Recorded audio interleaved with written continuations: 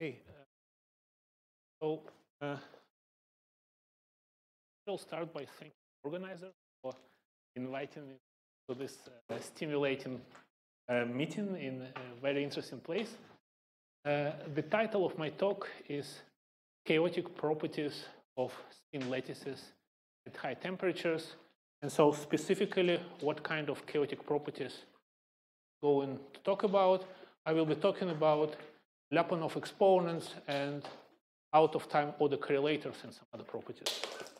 So uh, like Tomas, I was actually always interested in the properties of non-integrable systems of spins one half, which are as far from the classical limit as system can be, and went back and forth comparing uh, classical and quantum properties, and I was permanently bugged by the questions from the audience. So what about Lyapunov exponents? Do are classical uh, spin systems really chaotic and so forth? And so at, at, at some point I became annoyed enough and we basically learned the techniques of um, computing Lyapunov exponents in many body spin systems and discovered quite a few interesting things. And this, by the way, led us to start using the notion of out-of-time order correlators. Actually, before this term appeared uh, and before the subject uh, exploded in the high-energy physics community. So uh, uh I will explain what led us to these uh, ideas. So let me start uh, at a very basic level. I let's define Lyapunov exponent for a lattice of classical spins. So this S are classical spin vectors normalized to one, uh, nearest neighbor coupling, some kind of lattice. And so the way you simulate this lattice classically is that, that you, you just obtain equations of motion. So for each spin, each is a sort of Larmor precession in a local field, which is created by the neighbors and also changes as a function of time.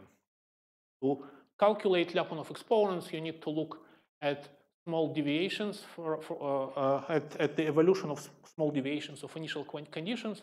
So you introduce small perturbation to these equations, right? And, and then this is what you can also compute as a function of time. And you follow the evolution of these uh, small differences of in coordinates, right? Uh, we are speaking about many-body problem, and so we need to define many-body phase space. So in this case, it is uh, convenient to define it like this. It's just simply a set of all projections of each spin combined in a very large vector. And likewise, there is a vector of small deviations, right, at the evolution of which we are looking. And then out of that, we want to get Lyapunov exponents. So how does it work? Uh, in general, the system has many Lyapunov exponents, positive and negative, coming in pairs. Uh, but if you start with an arbitrary perturbation, then it, is, it generally contains a projection on the direction of the largest Lyapunov exponent of the system. And so if you let this pair of trajectories evolve for sufficiently long time, then eventually the difference between them uh, is determined by the largest Lyapunov exponent. And with some technical tricks, this is how it is computed. So, so the, the, the largest Lyapunov exponent is the, this limit of the uh, uh, exponential uh, uh, of the rate of the exponential growth of this difference. Now, with this Lyapunov exponent, when you do the calculation, you can also obtain the Lyapunov vector, and then you can repeat the procedure in the orthogonal subspace to that Lyapunov vector, and that gives you the second Lyapunov exponent, the third Lyapunov exponent, and eventually you can get the whole Lyapunov spectrum. So uh, once we learned to, uh, this, this, this, this technique, we uh, decided you know, to uh, uh, train our hand and simultaneously ask sort of interesting question, questions. And one question that uh, concerns many people is basically, what if there is some hidden integrability, that if there is some combination of, say, coupling parameters such that the lattice suddenly becomes integrable. But that would mean that the largest Lyapunov exponent of such a lattice would be equal to zero. And so what we decided to do, we made a random survey of Lyapunov exponents for seven different lattices pictured here. And for each lattice, we uh, randomly sample points on the so-called interaction sphere uh, shown here. And this plot is basically the collection of all our results. So uh, different colors here represent different lattices, and each point here represents one largest Lyapunov exponent computing for a particular choice of the uh, coupling constants. And on the horizontal axis, you have the largest of the three coupling constants. So what did we learn from these simulations? So first of all, we found that there are really no in interesting integrable cases besides the trivial case of, uh, of Ising interaction. So when one of these constants is one and the rest is zero. So, so that means that corresponds to this point one here. And you see here that, that, that all Lyapunov exponents really go to zero. There is nothing else. Second, uh, we also see that the largest Lyapunov exponent, the value of the largest Lyapunov exponent is mostly controlled by the largest of these three constants in general. And, um, and then what we also found that actually the dependence of these Lyapunov exponents for bipartite lattices like cubic square lattice chain is largely universal so they can be superposed on the top of each other. And moreover, uh, uh when, when the maximum of this constant is like 0.85, it becomes nearly flat. So, so you, you, uh, you, you basically can uh, guess the value of Lyapunov exponent of any sort of generic. Uh, we went, uh, we, we also, by the way, discovered, and I can discuss more with those of you who are interested, that here in the vicinity of the integrable limit, there is an interesting power law scaling of the value of the largest Lyapunov exponent, on the deviation from integrability. That's, that's, I will, I will. So that was important. That was a really important question, which we also wanted to understand, but the answer is yes. Uh, so we went beyond, beyond the, the uh, uh, largest Lyapunov exponent and also computed all the, the entire Lyapunov spectra and so, so this spectra for uh, several lattices are presented in this plot. So this is the index of the Lyapunov exponent divided by the number of Lyapunov exponents, and that's the value. So these spectra look reasonably boring, right? So, so you, the, the, the, these Lyapunov exponents, they are nearly equally spaced, and they sort of nearly uniformly go between uh, maximum value and zero. Uh, uh, now the okay, so so and then the, there was this this question of uh, how does this whole story depend on the size of this lattice. So before we went into this business, I, I, I, sort of asked around, you know, people who do simulations, you know, what do they expect? And the people were sort of uncomfortable, you know, those with background in simulating classical gases, maybe it grows logarithmically with system size. So what we discovered that it, the largest Lyapunov exponent of the classical spin lattices is an intensive quantity. It does not grow with the system size. So, so you see, you see it, we first saw it numerically, and then we figured out that there is a simple analytical argument for that. And the argument is as follows. Uh, of course, this Lyapunov process occurs in many dimensional phase space. And so, so something happens there, and this trajectory sort of separate from each other. But this story in the many-dimensional phase space is projected onto the subspace of every spin. And so it means that for two perturbed trajectories, uh, the projections of spins should separate basically on average with the same rate. But the uh, rate of separation for individual spins is basically limited by the maximum value of the local fields that they see. right? So, so they, see, they have finite number of neighbors, and so there is absolute uh, limit from above uh, such that, that the Lyapunov exponent just simply cannot be larger than that. And so this limit may be a bit larger than what we obtained, but at least we know that this limit exists and maybe somehow slowly these things approach this limit, but most likely what we found is really the uh, uh, value which one would get in the thermodynamic limit. Now, uh, the same uh, applies also to the whole Lyapunov spectra. So, so, so this is the spectrum for the Heisenberg chain uh, of different lengths, and you see that, that the, the, the shape of the spectrum quickly converges to the basically what we expect in the thermodynamic limit. Uh, what is useful lesson also from that when it eventually uh, uh, comes to say out of time order correlators, it's that you know uh, those things when, when, when one actually tries to extract Lyapunov exponents, what one extracts is not really the value of just the largest Lyapunov exponent. What happens here that there is the edge, the edge of this Lyapunov spectrum, and so the longer you simulate, the closer you approach this edge, and so at the end of the day, you see something which is which is very close to the largest Lyapunov exponent, but the spectrum of the Lyapunov exponents is supposed to be nearly continuous. Uh, now, uh, sort of, uh, of course, uh, what we were interested in, not just in doing simulations, but really sort of uh, in providing some insight into how one can make experimental determination of the value of the Lyapunov exponent in a many-body system. And this is challenging, right?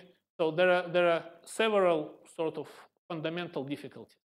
One difficulty is that we cannot experimentally, of course, observe phase space coordinates of every particle, even if they were classical. We also cannot controllably prepare too close initial conditions in many-body phase space and slightly perturb them. Required accuracy.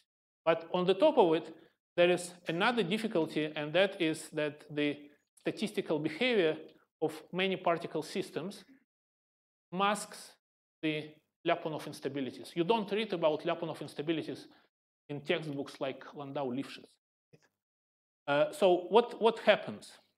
Let me illustrate this last point uh, by a sketch of kind of relaxation in a many-body phase space. So suppose this is a piece of an energy shell, and I'm monitoring some observable, which can be total magnetization of the system.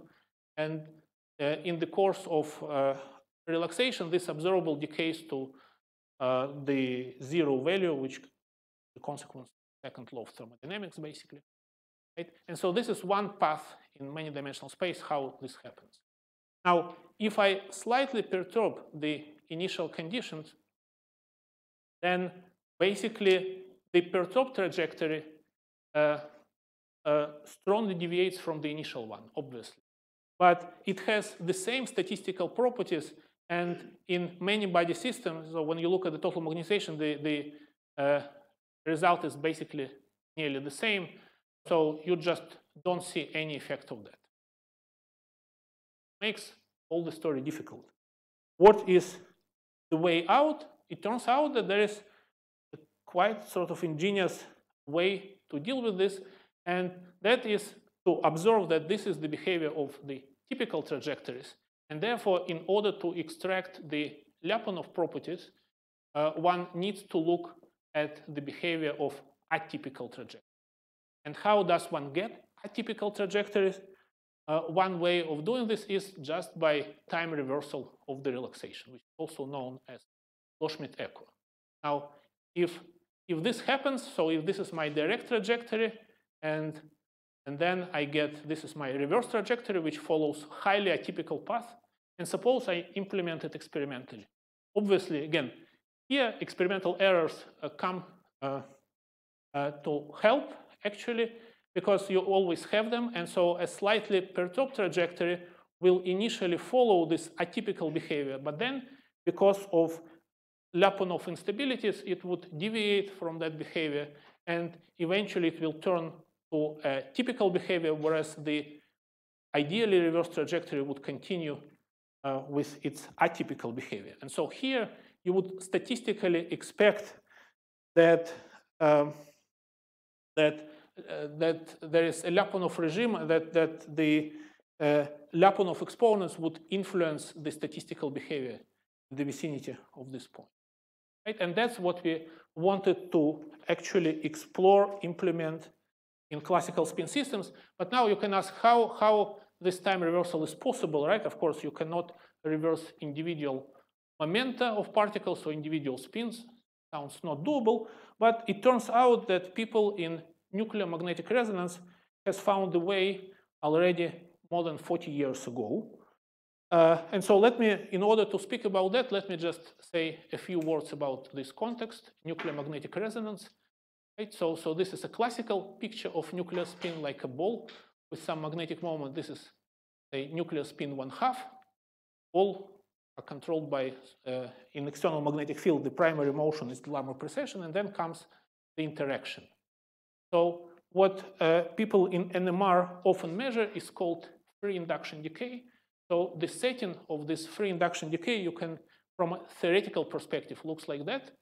You have a lattice of slightly polarized nuclear spin spins, and then this polarization decays because of the interaction between nuclear spins, which does not conserve it in this direction, and then it just goes to zero. And this process, is, by the way, is called T2, solid state NMR, which is controlled by the Hamiltonian of magnetic dipole interaction in the rotating reference frame, averaged over the fast Larmor precession.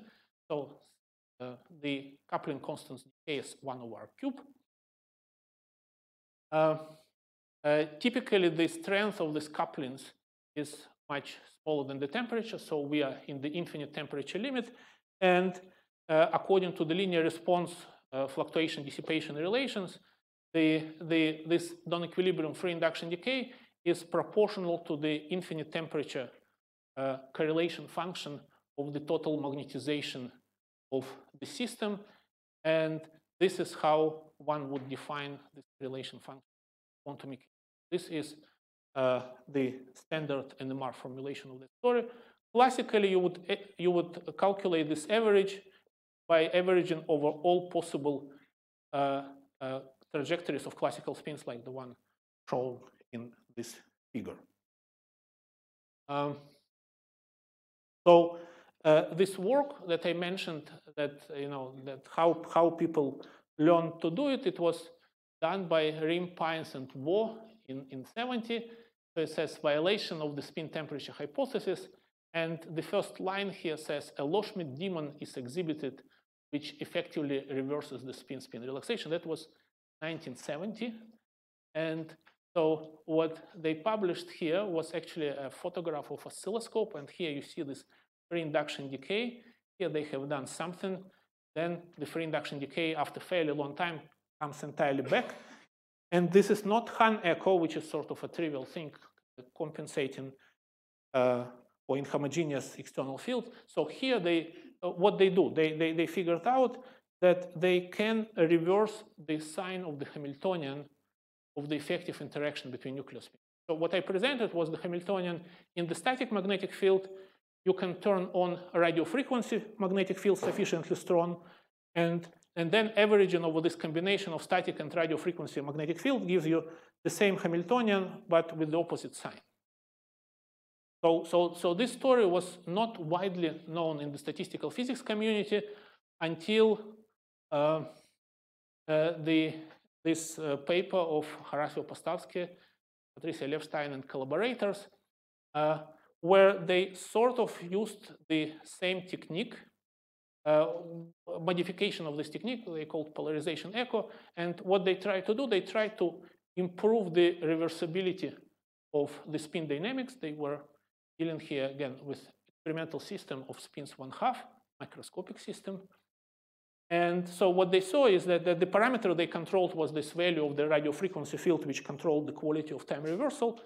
They, for smaller fields, they obtained a result like that.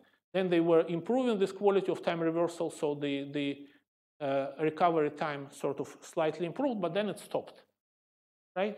And then they came, they came with a swift conclusion that this is all due to chaos, right? And this is the NMR answer to the Boltzmann-Loschmidt controversy, right? Uh, after that, there was another influential paper when, when uh, Pastawski and Jalabert basically looked at quantum fidelity of one particle system and indeed saw that, that if one does Loschmidt echo time reversal, then for the fidelity, there is a regime controlled by the Lyapunov exponent of the system, but this is not one particle system. This is a system of spins one half.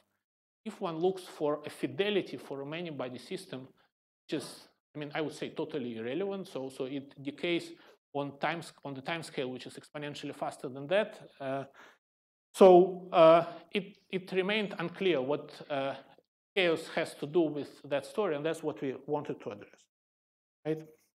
And so, and we hoped also in, in along the way to define basically the notion of a Lyapunov exponent for in one half lattice. Right? So, so we started our treatment with uh, the uh, consideration of time reversal of equilibrium magnetization. Okay, so this was done in collaboration with uh, these people. Uh, so our consideration was the following. Let, us think of, of an equilibrium noise of a classical spin, total spin. Okay, so suppose that time initially runs from right to left, and you follow the green line, so this is some kind of noise. Then at this point, you reverse the Hamiltonian of your system, and simultaneously you slightly perturb the, uh, each spin by tiny angle. And then you follow the magnetization. So, so initially it traces back the noise, so it's a blue line, but then you see that it separates. Uh, and then you look at the difference, right? So, so did, we did this on purpose because, because we had in mind the following picture. The picture was again like that, that you have some kind of Lyapunov process. Uh, uh, you have some kind of Lyapunov process in many dimensional space. Right? What is in general rather poorly known about this process is how Lyapunov vectors behave. But we made an assumption that these Lyapunov vectors sort of sufficiently randomly rotate in space and uh, on the one hand, the projection on them sort of grows exponentially with time on average.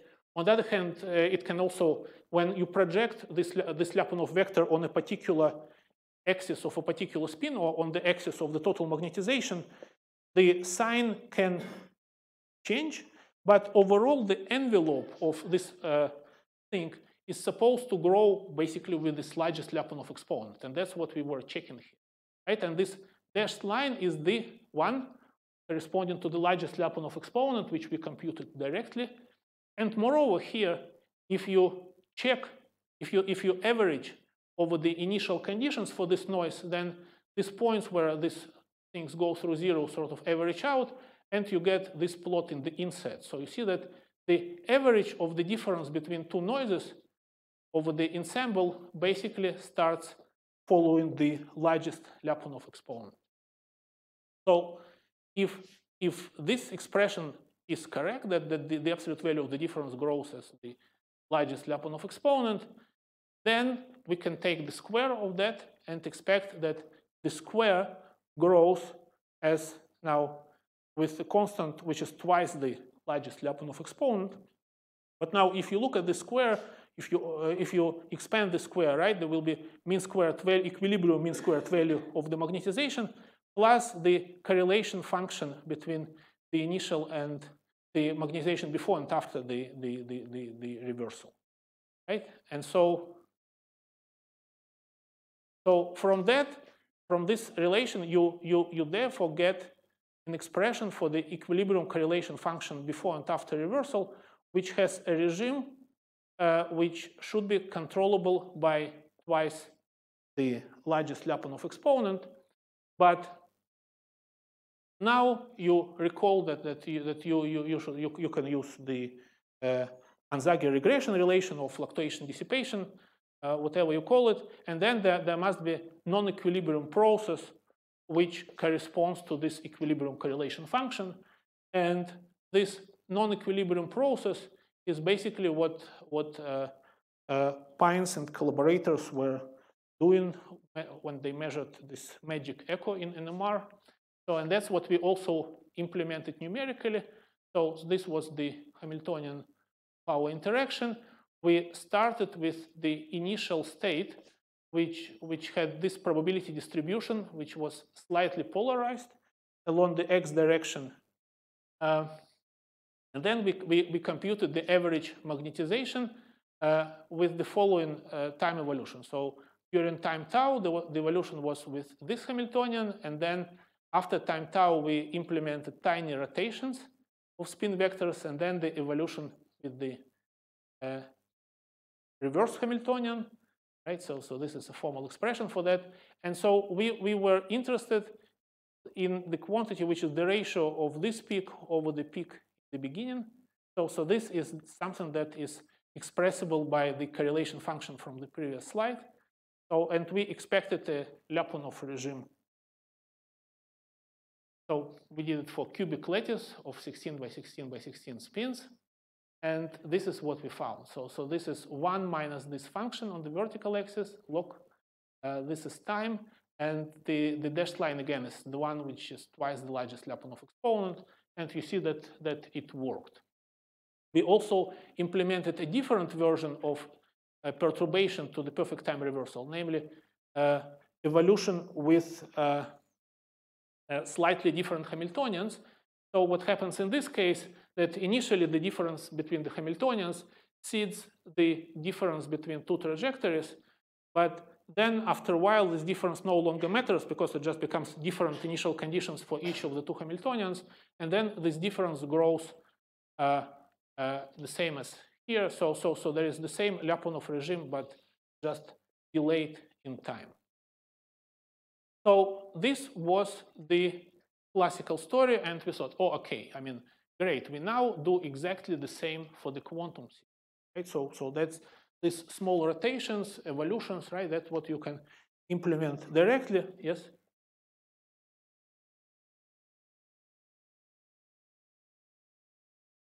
Yes, right, precisely. Sorry?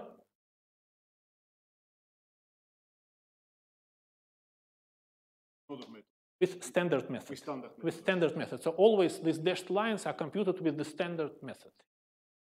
Uh, so, um, so we thought, okay, we, we uh, now define the quantum Lyapunov exponents. However, we were disappointed. And so, so that was actually the title of our paper, which was Absence of Exponential Sensitivity to Small Perturbations for Non-Integrable Systems of Spins One Half.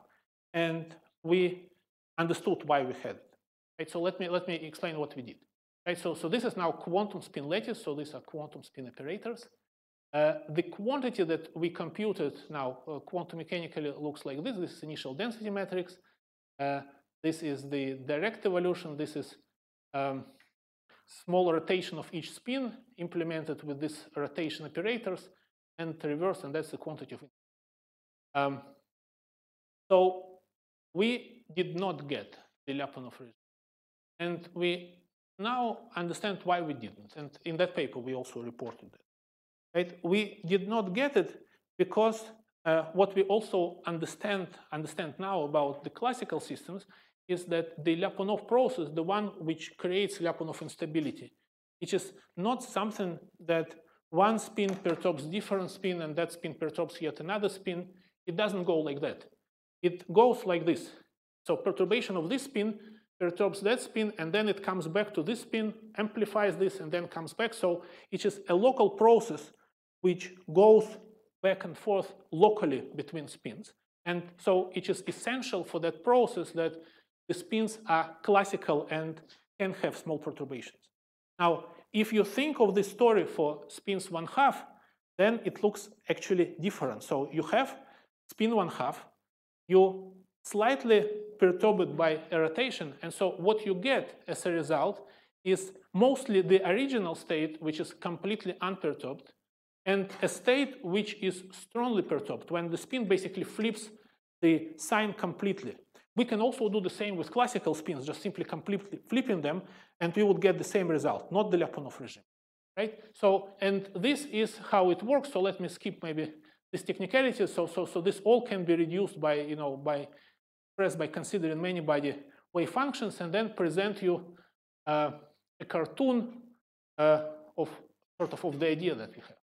So uh, the, this manipulation in terms of uh, underlying system looks as follows. So you have a lattice of spins, and then each wave function which contributes sort of to the eventual sort of many-body evolution in the superposition looks like that.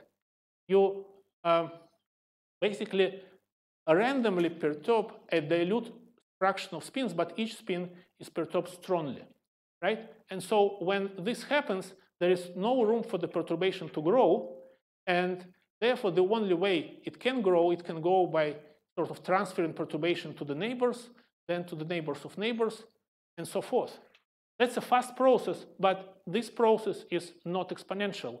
It, there is a limit on the velocity of that, uh, uh, uh, also known as uh, Lieb-Robinson uh, limit. So, so this uh, process of perturbation does not grow exponentially. It, grows as a power law dependent on the dimension of the system, the character of interaction, and so forth. And so if it starts with uh, several spins simultaneously, still initially it is a power law, and then it saturates and you are out of the Lyapunov regime. So you never you are never supposed to see the Lyapunov behavior. And this is what we also uh, that's what we also obtain numerically. So, so this is a 5 by 5 lattice, non-integrable spins one half, nice uh, Wigner-Dyson statistics. And so this quantity of interest, it looks sort of similar to what we saw before, but this is a short range and no exponential growth regime. So this was our result. And, and this result is, is important in the sense that, uh, say at least my personal hope to recover classical chaotic limit sort of uh, did not get realized despite the fact that we are dealing with the correlation function of the total magnetization of a macroscopic lattice. So, so something which is about which in principle you can think of as classical. And so the lesson that we draw from that is that uh, supposedly uh, non-integrable quantum systems do not share, generically do not share with chaotic systems the property of exponential sensitivity to small perturbation. However, they probably, presumably, share the property of ergodicity. So ergodicity is where these systems overlap, and that's a bit non-intuitive because if you think of a classical system with any kind of sort of reasonable interaction, it is generically, I would say, both uh, chaotic and ergodic, right? So chaotic in the sense of Lyapunov instability. Uh, now, on a different level, however, what we did here uh, was, so, so this quantity was, was out of time order correlator. So what later became popularized as out of time order correlator. So it's correlation, so it's something at time zero, then this guy is at time tau, then this guy at time zero, and this is also at time. So the out of time order correlators as widely being used today, they are just second derivatives of that. Uh, uh, but what we also kind of uh, realized at that time, we were not particularly interested in the subject, but we realized that as the spin increases, then according to our argument, uh, that, uh, you know, say if you have spin with 10 energy levels, right, or 10, 10, 10 values of spin projection, then at least there is a factor of 10 for the Lyapunov uh, growth to exist. And uh, Later, we published a, sh a short paper on that, basically implementing the same story, but for, in particular, for spins uh, 15 half, so seven and a half. So here, the blue line is the classical spins, then the black line is the spins uh, seven and a half, and dashed line, say for comparison, is the, this for spins one half, and this is the uh, Lyapunov behavior. So basically, so what you see here, that there is here at least a decade when this uh, quantum uh, uh, quantum spin chain followed the Lyapunov growth, and that was, uh, to the best of my knowledge, uh, first demonstration of the Lyapunov regime for an out-of-time order quantum correlator in a many-body system. and also with specific relation to twice the largest Lyapunov exponent. Uh, I should mention, though, that, that the original, this concept of out-of-time order correlation appeared in the 60s in the paper of Larkin and Ovchinnikov for one particle scattering in, in superconductors uh, without any explicit statement on the Lyapunov exponents and so on. Um, here you can also observe, if you look closely, that actually the slope of this classical line and the quantum line seem to be slightly different from this twice the largest Lyapunov exponent. And we were sort of uncomfortable with that, published things as, as they were, and uh, eventually another PhD student of mine, uh, Andrei Tarkhov, uh, looked close, closer into this issue, and we discovered that actually there is a systematic correction to this twice the largest Lyapunov exponent, uh, which uh, simultaneously can be uh, used as a measure of the ergodization time um, in the system. So let me uh, let me explain what what I'm talking about. So first of all, ergodization time is a concept which is intrinsically poorly defined, right? Uh, you don't look um, you don't look uh, at the energy shell, you look at a particular observable, but here we are speaking about uh, an observable which is, I would say, very intrinsic for chaotic system, which is Lyapunov exponent itself, right? So uh, the origin of this deviation was in the fluctuating character of the Lyapunov exponents. And uh, so uh, this fluctuation, they actually make systematic correction to the out-of-time order correlators. You can define correlation function of these fluctuations and define the typical size of this correlation function uh, expressed in, form, in, the form of this integral as the ergodization time. And um, this is the out of the quantity computed in the out of time order correlator. So it is average of an exponent, whereas in general, what, what we care is exponent of the average, or in other words, so so so this is uh, yes, and so so this this is a, a standard sort of difference, and there are standard methods to, to compute it. And so that's what we did. And we obtained that the difference between the growth rate of the out-of-time order correlator and the Lyapunov exponent is actually controlled by the integral, which you see here. And you know, when you look at this and you look at this, you get this expression for the ergodization time. So the difference between the Lyapunov growth and the growth of the out-of-time order correlator also contains this uh, information. That was, I mean, in, in, general, this kind of, that the existence of this kind of systematic correction was first uh, discussed uh, in the paper of the group of Galitski. And then, but then also as the relevance to quantum systems, uh, Serbyn and Abanin uh, later considered uh, basically similar measures. So they, they compared quantum mechanical out of the growth of quantum mechanical out of time order correlator with something that looks similar to this average uh, in, the, in the effort to discriminate uh, many body uh, uh localization from thermalized phase. So, so we, we did that, we checked, and so what we discovered uh, was basically that it works for two-dimensional and, and three-dimensional lattices, but for one-dimensional lattices, even though which they generally uh, thermalize, in fact, in fact, there is a pretty long ergodization time, which, which even falls outside of uh, this method. So with this, let me, let me skip to my conclusions. Um, uh, there was this subject which I wanted to discuss. Let me just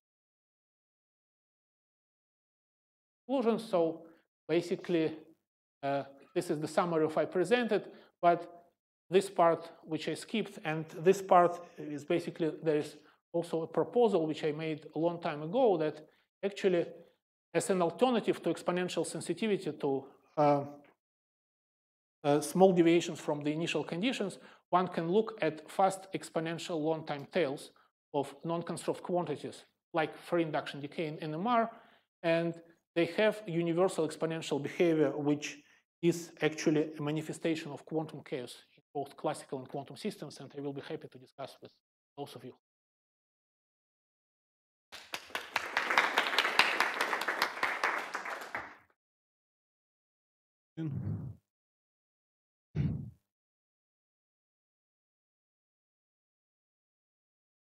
If I, if I, recall correctly, I mean, you know, quite some time ago, people looked at uh, these Lyapunov exponents for a system of hard spheres, for instance, and then uh, use uh, some type of theory to to predict what the value is. And you know, I mean, so, so, there was a time when there was sort of quite considerable study. I mean, is there any connection between your work and and and and what they have been doing?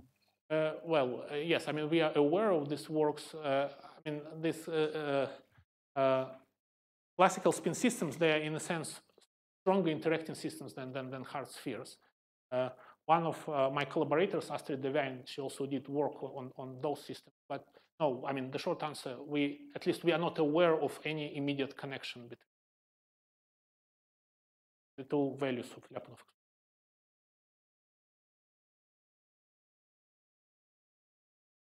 Question. So when the Loschmidt echo in the numerically in the classical I mean, the numerical inaccuracies, is that a big worry? I mean, is that a strong limitation on the time? Well, I mean, uh, you just should do enough statistical averaging. And in that case, accuracy was general smaller than the So, so, so you, you want to get average relaxation, you just you have an ensemble of initial conditions, you just repeat it sufficiently many times. The accurate